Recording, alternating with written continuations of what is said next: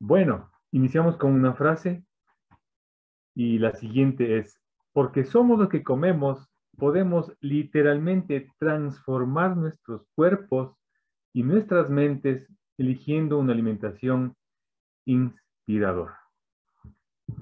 Voy a iniciar con una información, con un tema que es bastante interesante y quizás no, que no mucho se lo pronuncia ¿no? en nuestro medio, y es el tema de la coherencia.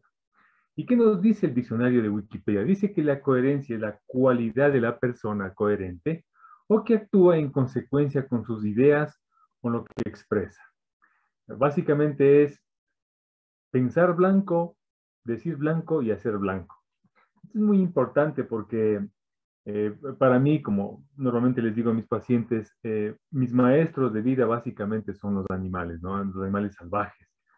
cuando uno observa, ya sea un animal o un grupo de animales, uno puede darse cuenta eh, la sincronía y la coherencia que hay en ellos. Por ejemplo, eh, cuando uno eh, está en una situación conflictiva, normalmente tenemos la tendencia, ya sea por cultura o ya sea por, uh, porque hemos, hemos aprendido, de acudir mm, para ver que alguien nos solucione la situación de, conflicto que estamos viviendo, es decir, eh, en vez de buscar una solución en nuestro interior basado en, nuestras experiencias y, en la situación de conflicto, normalmente acudimos a que básicamente nos alivien los síntomas.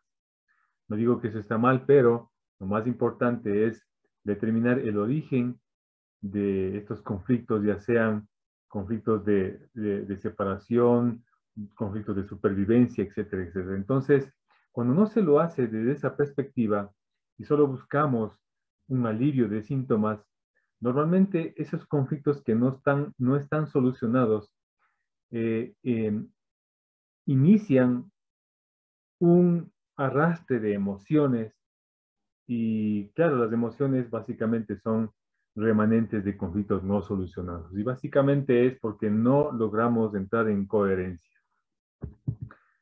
Y no solamente eh, a nivel personal, sino también a nivel de individuos, de grupos, en donde muchas veces aguantamos situaciones, toleramos muchas situaciones, qué sé yo, por miedo a perder, por miedo al que dirán, etcétera, etcétera.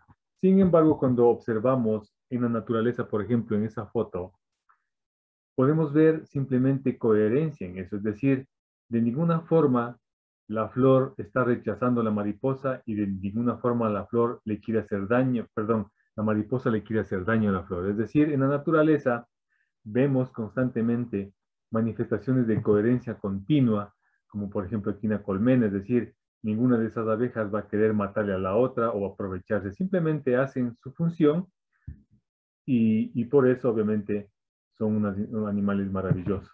También en temas de, los mamíferos, es decir, las manadas, las manadas tienen que estar constituidas desde la coherencia, en donde si un individuo no se adapta, literalmente es sacado del clan para evitar justamente que este grupo se altere.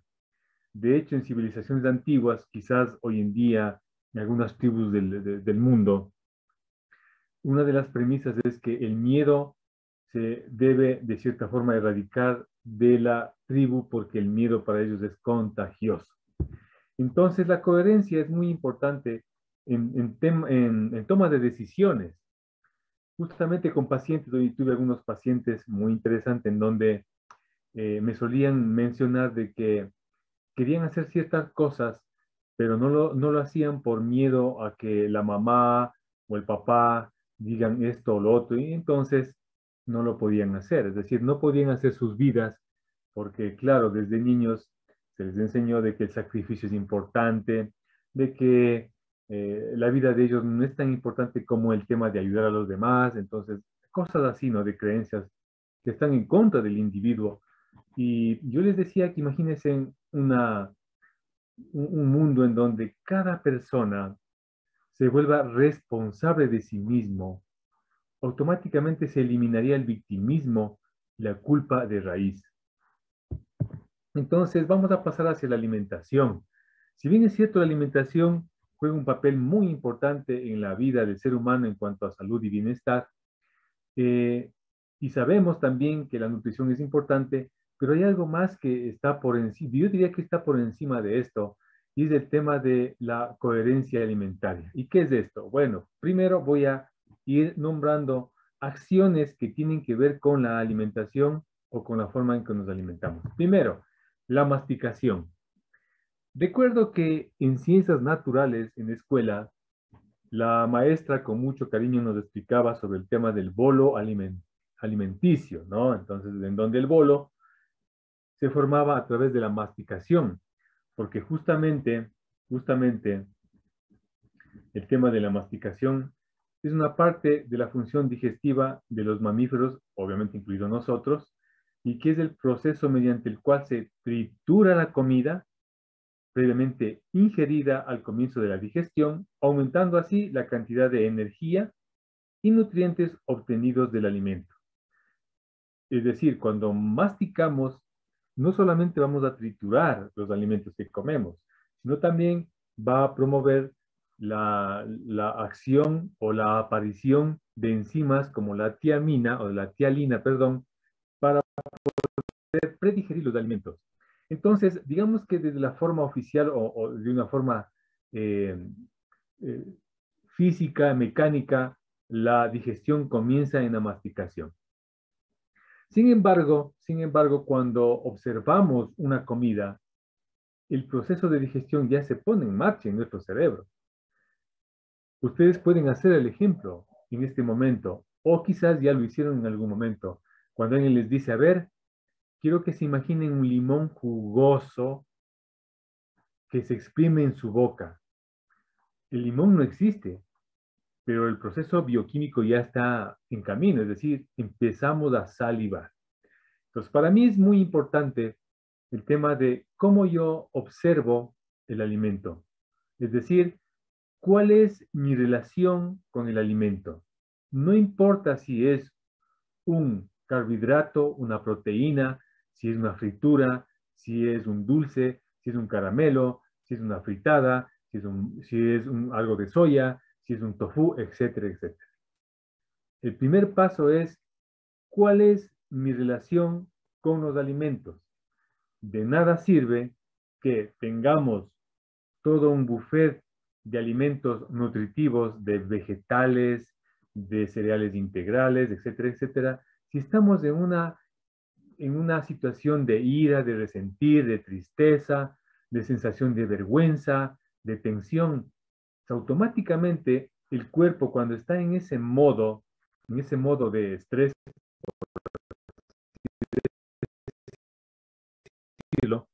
automáticamente el sistema digestivo se va a bloquear. Si además de eso no masticamos muy bien, el proceso que le toca después al estómago y luego a los intestinos es mucho más complejo.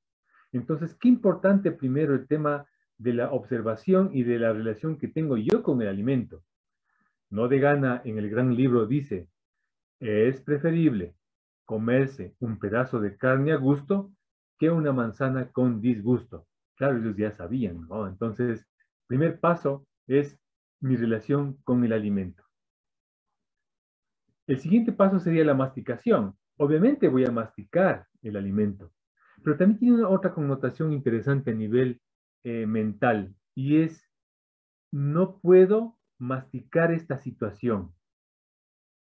Cuando yo vivo esa situación, el cerebro literalmente piensa que es un bocado de comida que no puedo masticar. ¿Y qué creen que va a pasar? Es decir, ¿qué creen que va a hacer el cerebro cuando yo lo vivo una situación en donde no puedo masticar?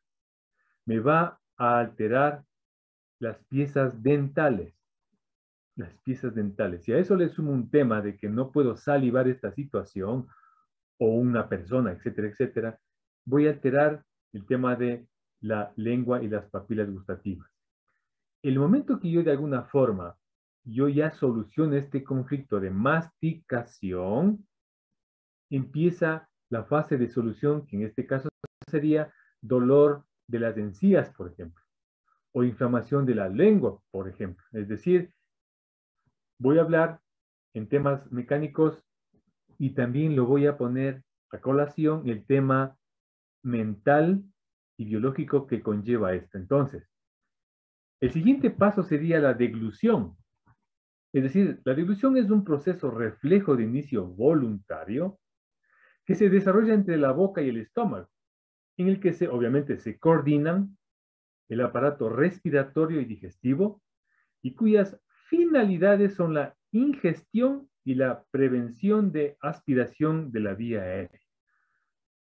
Entonces, si yo no puedo deglutir o, no puedo tragar una situación o no le puedo tragar a una persona, va a pasar lo mismo con el cerebro. Va a pensar que algo ahí estoy teniendo atragantado y va a alterar la faringe, la laringe.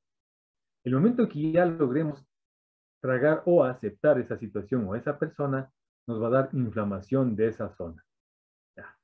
Sigamos, está muy interesante, vamos. Por ejemplo, la fase de la deglución, ahí tenemos. Es decir, cuando usted pone o ya está listo el bolo alimenticio, empieza a moverse, la lengua empieza a, meter el bolo alimenticio hacia la parte de la faringe, en donde eh, el epiglotis, ¿sí? el epiglotis se va a abrir previo a que pase el bolo alimenticio, va a abrirse para que pase primero una bocanada de aire. El momento que pasa eso, el epiglotis de esa lengüita que está ahí, se cierra para evitar que, que entre el bolo alimenticio hacia la tráquea, que es el tema de, los pulmones. Y después de eso, obviamente, pasa el bolo alimenticio. Y nuevamente se abre el epiglotis y entra nuevamente una bocanada de aire. Estas serían las fases de la deglución por si no sabían o si se han olvidado. El siguiente paso de la digestión sería justamente digerir. Básicamente digerir es el proceso de transformación en el aparato digestivo de un alimento en una sustancia que el organismo lo va a asimilar. Entonces, de nuevo, si yo estoy en una situación o con una persona o con un grupo de personas que no puedo digerir, el cerebro va a tomar que y va a aceptar o lo va a tomar de la forma en que hay un alimento en el estómago que no puede digerir. Haya o no haya comida ahí. Si esto pasa, el cerebro le va a dar un comando al estómago para que genere más ácido. Si de alguna forma nos demoramos, seguimos con el tema no sé cómo digerir esta situación, hay dos opciones en donde puede el cerebro actuar. Una es querer sacarlo, es decir, va a haber un reflujo, o va a optar por crear otro estómago para poder digerir, es decir, como no es suficiente el ácido que produce el estómago, quiere ayudarnos generando un nuevo estómago. ¿Qué significa un nuevo estómago?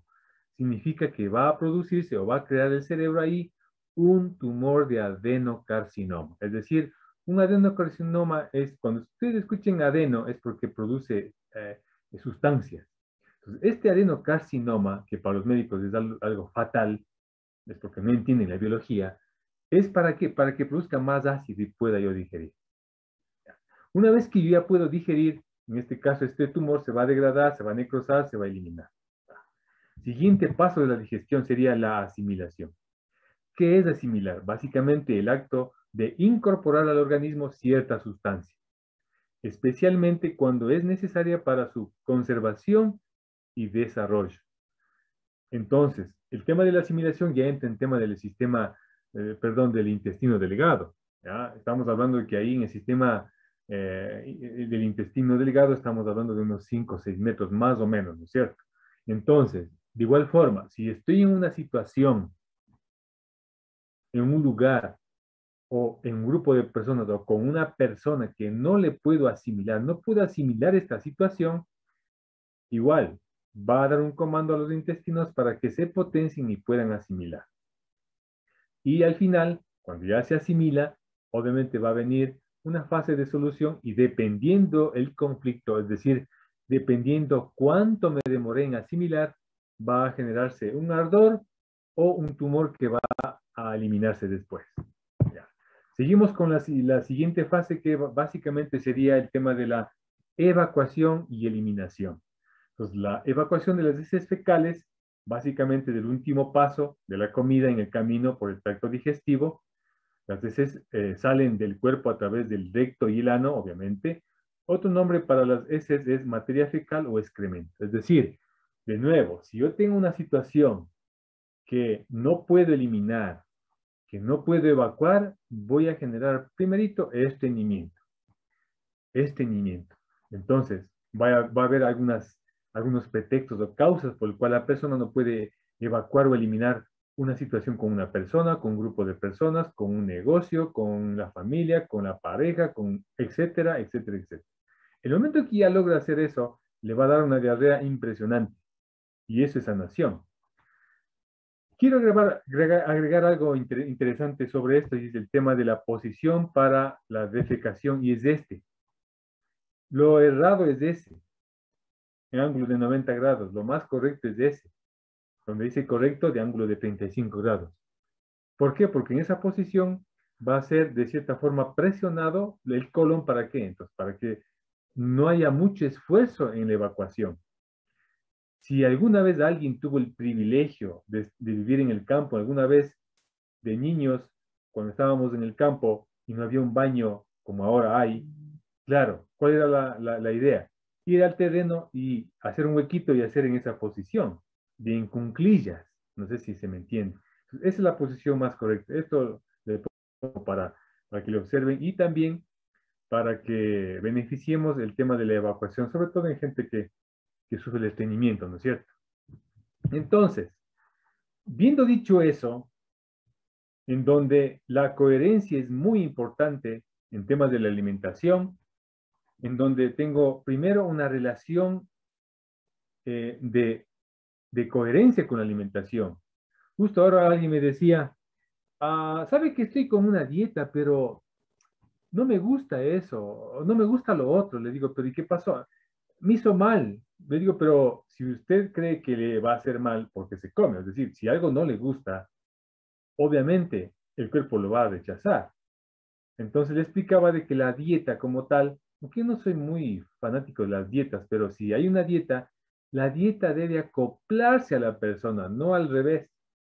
No al revés, porque voy a generar conflicto biológico de bocado justamente. Entonces, entonces, qué importante el tema de ojo con las dietas, ojo con las monodietas, ojo con los ayunos.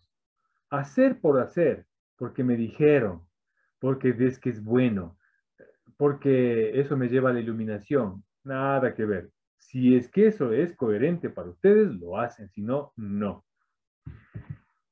Y hoy en día, obviamente, la alimentación actual tiene dos excesos muy importantes que vamos a nombrar, y son grasas, colorantes, conservantes, pesticidas, harinas refinadas, etcétera, etcétera. Y también hay deficiencias.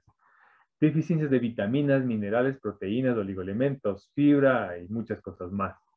Porque claro, nadie cuando va al restaurante dice al chef, chef, deme 30 gramos de proteína y deme 10 miligramos de selenio. Eso no dice, deme, deme un, bife, un bife, deme esto, deme lo otro. Entonces el chef, con toda su habilidad, va a, a cocinar, a preparar un alimento delicioso y difícilmente va a decir, bueno, voy a pensar en su nutrición. No, lo va a hacer delicioso, agradable. Entonces, muy importante darnos cuenta en dónde pueden estar las deficiencias y exceso. Por ejemplo, una nutrición inteligente podría ser como esta, ¿no? Elegir, por ejemplo, verduras, frutas, frutas de la estación muy importante. Y si ya queremos ser un poco más finos con las frutas, es importante comer la fruta de la zona. Si yo me como una fruta de la costa en la sierra, pues como que no aplica, ¿no? Y viceversa también. Entonces, a no ser que esté en verano, bueno, podría ser. Entonces, qué importante, los aceites esenciales, etcétera, etcétera. Y sobre todo, agregar a la comida un superalimento y un complemento nutricional. ¿Por qué? Porque simplemente la comida de hoy tiene sustancias químicas, tiene bajo valor nutricional, por temas de industrialización, por supuesto. Ahora, si usted tiene una granja orgánica, tiene su, su granja orgánica, pues no hay problema, pero difícilmente uno tiene eso. Por eso es importante comprender el cuerpo biológico inteligente. ¿De qué está hecho nuestro cuerpo? Básicamente, básicamente está compuesto de células. La célula es la unidad de inteligencia biológica básica del cuerpo humano. ¿Y qué son las células madre?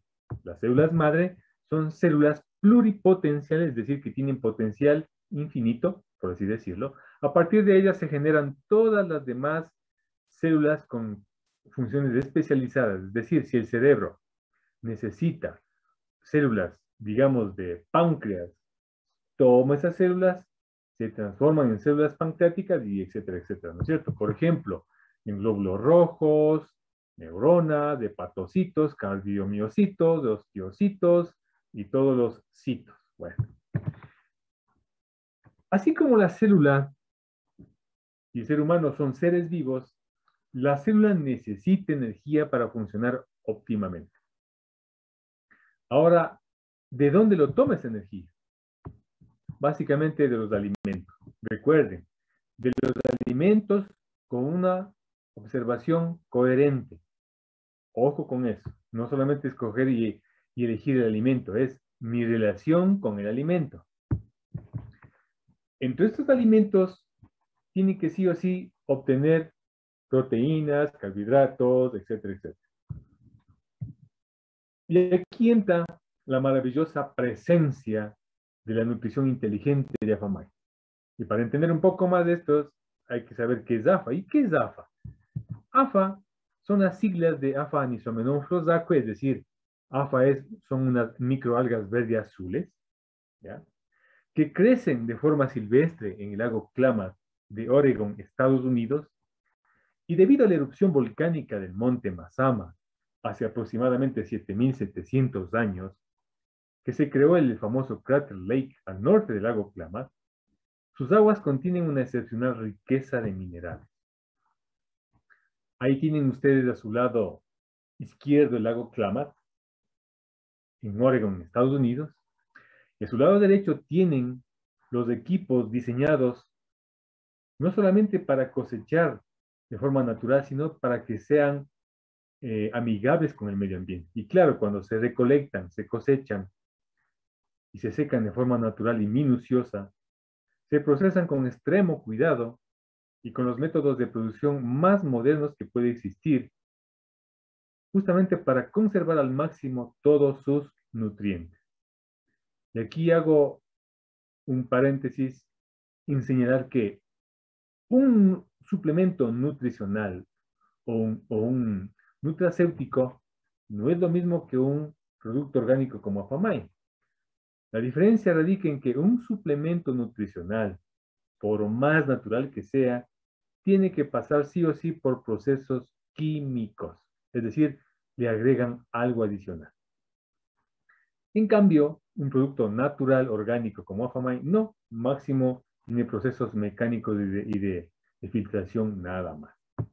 Bueno, ¿qué contiene Afamay? Bueno, contiene vitaminas, aminoácidos, minerales, factores botánicos y algunas otras sustancias maravillosas que vamos a, vamos a desglosar, ¿sí? como un resumen para que ustedes sepan qué es lo que tiene. Y si necesitan más información, por supuesto, sus, eh, sus eh, invitadores o las personas que le invitaron, con mucho gusto les van a explicar un poquito más. ¿Qué es la proteína? La proteína básicamente son cadenas de aminoácidos estas son las unidades estructurales del cuerpo humano. Son importantísimas las proteínas. Por ejemplo, la, arginina, que es un aminoácido esencial, es eficaz para, para temas de presión arterial, para temas de dolor del pecho, enfermedades arteriales y, y, también temas físicos también. La metionina. La metionina también es un aminoácido que nos ayuda a transportar la grasa corporal a las células convirtiéndolas en energía. Para las personas que quieren, por ejemplo, mantener su peso y todo lo demás y están en el gimnasio, por ejemplo. Potenciador muscular, mantiene la salud mental. En temas de rinitis, en temas de colesterol, eh, en desbalance. Otro aminoácido importante que también tiene afamaina, la treonina, que ayuda a mantener la calidad de proteínas en el cuerpo, importante para la formación de colágeno y elastina. Qué importante esto. Actúa en la síntesis de enzimas digestivas y proteínas del sistema inmunitario hoy en día, tanto que se habla del sistema inmunitario. El triptófano.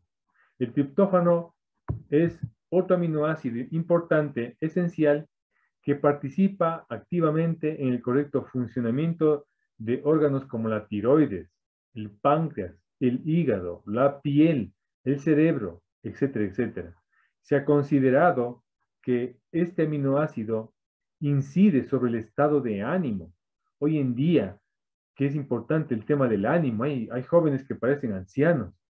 Es impresionante. Actúa como regulador del sueño y es efectivo para combatir el estrés, la ansiedad y la depresión.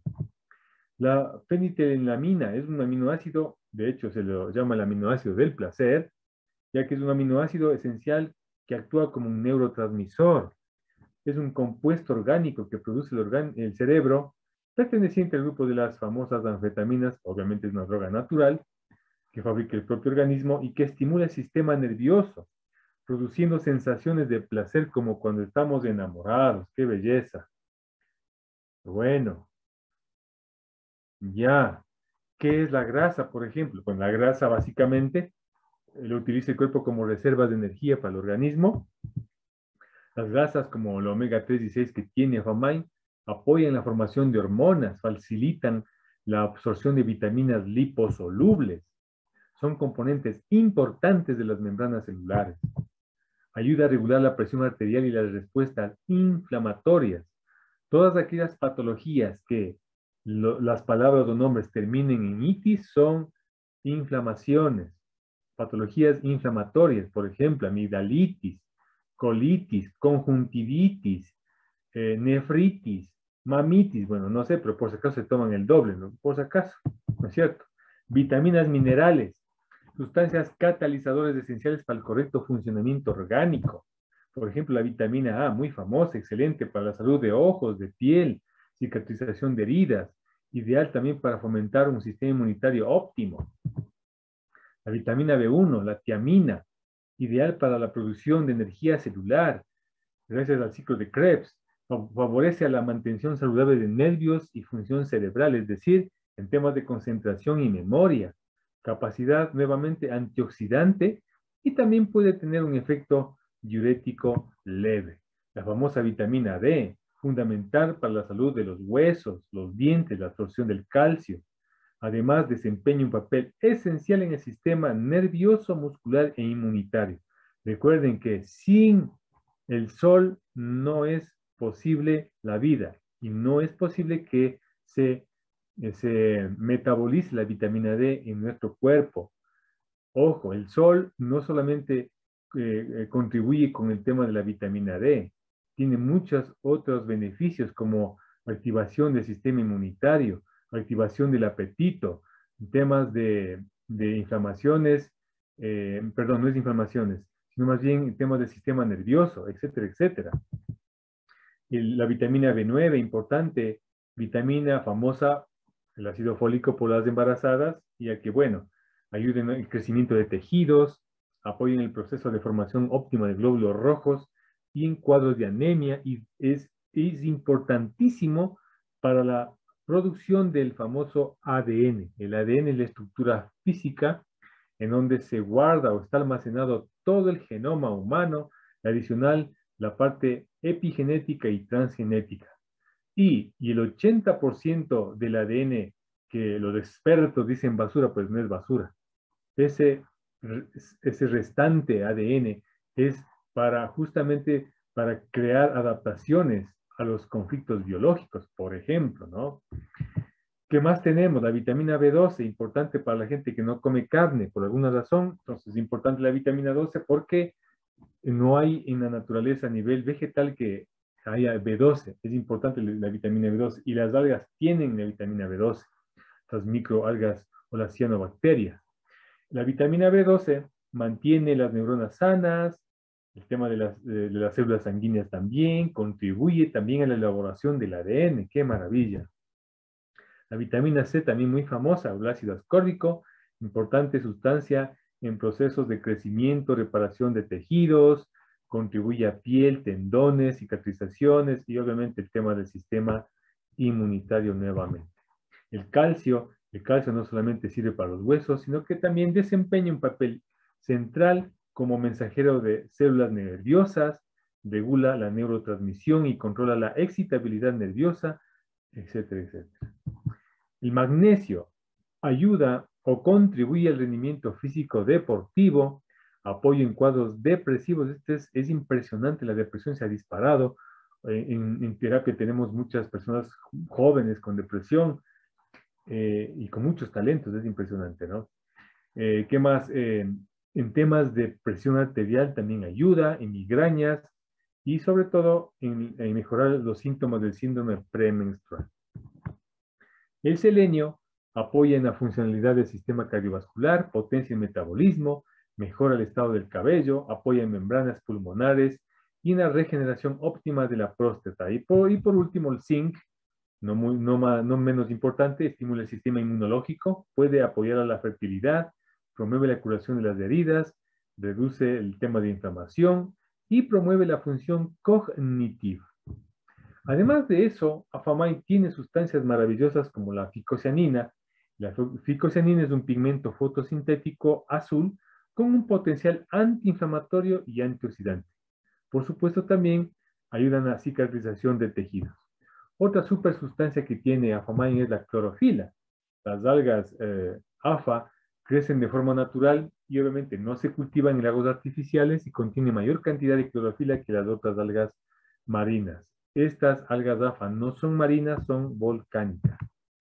La clorofila además ayuda a, a regular o biomodular todo el sistema celular del cuerpo, apoya el sistema digestivo. Y bueno, beneficios de Afamay, muchos beneficios.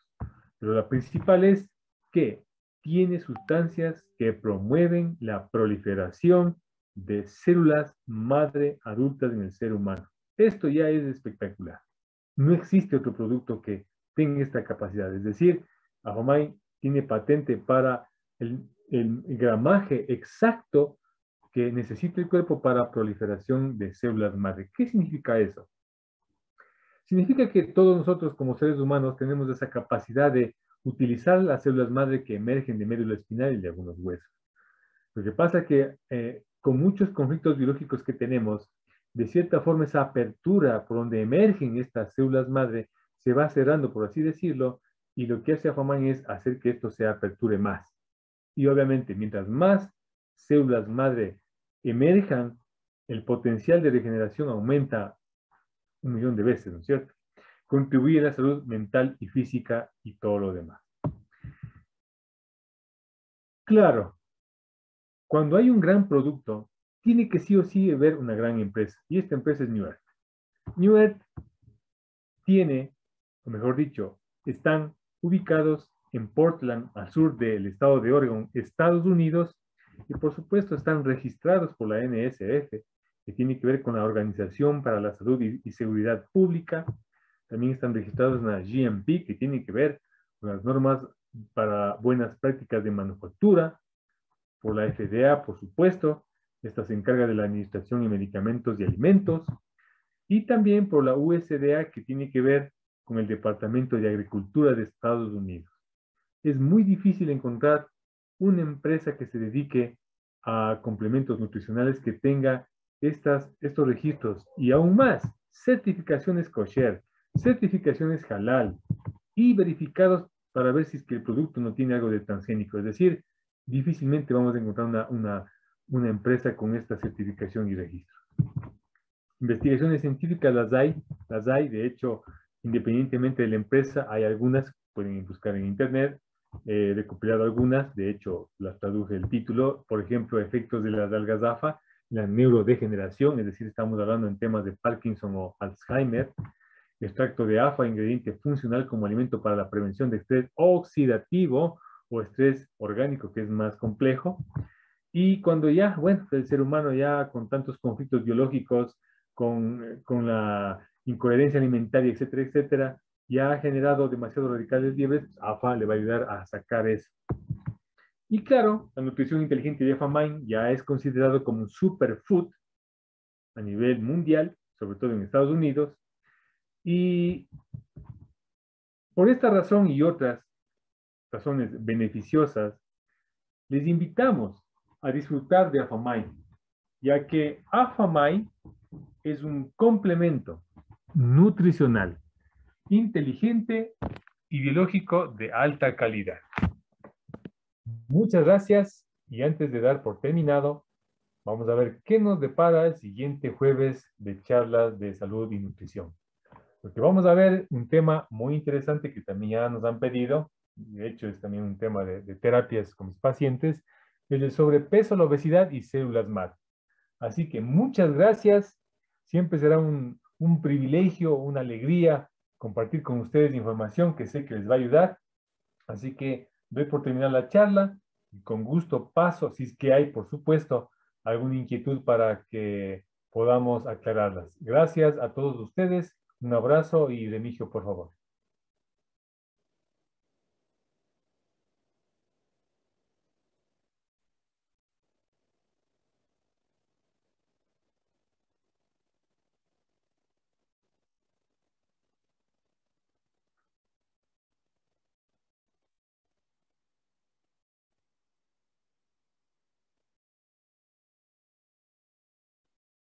Oh, gracias, Remy.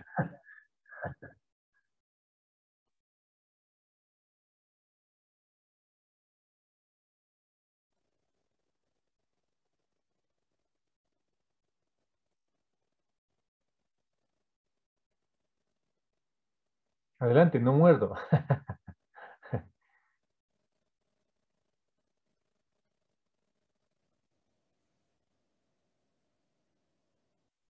Ok.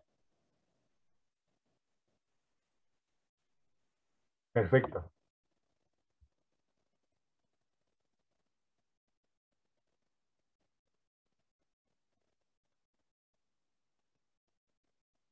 De acuerdo.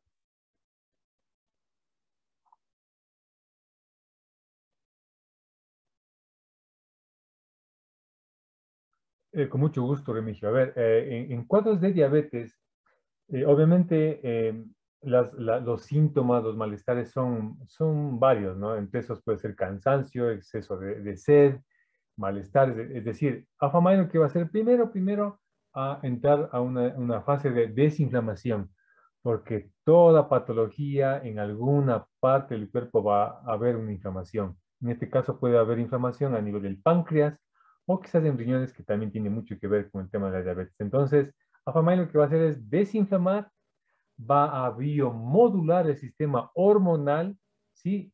Recuerden que la insulina es una hormona, eh, y también va a nutrir al páncreas, y no solamente al páncreas, va a nutrir todo el sistema, porque recuerden que si bien es cierto, eh, los facultativos en temas de diabetes le relacionan solamente con el páncreas, pero no, es todo el cuerpo en sí. Entonces, para resumir, Afamay lo que va a hacer en la diabetes es desinflamar, biomodular a nivel sanguíneo, a nivel linfa, y también va a nutrir los órganos que requieran ser eh, nutridos en temas de regeneración. Eso con, con tema de Afamay. Si quisiera agregar un tema a nivel de conflicto biológico, es que uno de los conflictos que hacen que aparezca al menos la, diabetes tipo 1, es conflictos de resistencia. Mientras más me resisto, ya sea a una situación, a una creencia, a una persona, a los alimentos y todo lo demás, voy a generar más resistencia de la insulina. Curiosamente, cuando pasa esto, los médicos dicen, usted cero azúcar, cero esto, cero lo otro. claro, la persona tiene que resistirse a eso y es peor. Tiene que haber una alimentación coherente. Eso sería de mí.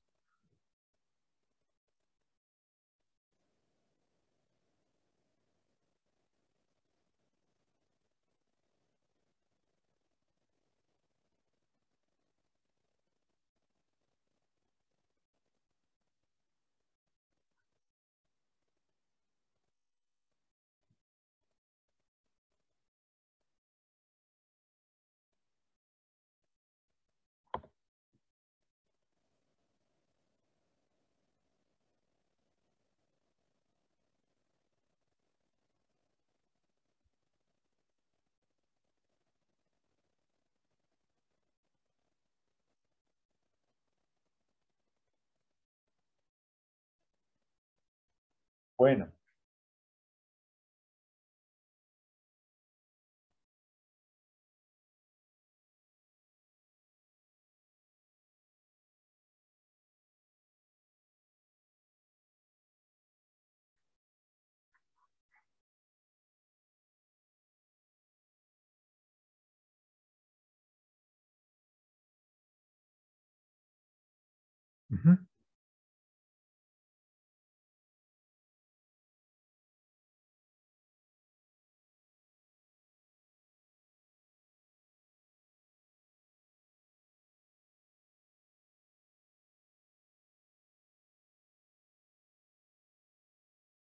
Gracias, Remigio, gracias a cada uno de ustedes. Y, sí, o sea, aprovechen estas informaciones, independientemente que yo lo dé, puede darle a otra persona también de forma efectiva.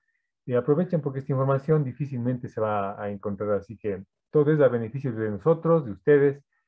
Les eh, agradezco nuevamente que tengan una noche maravillosa y descansen. Bendiciones y un gran abrazo.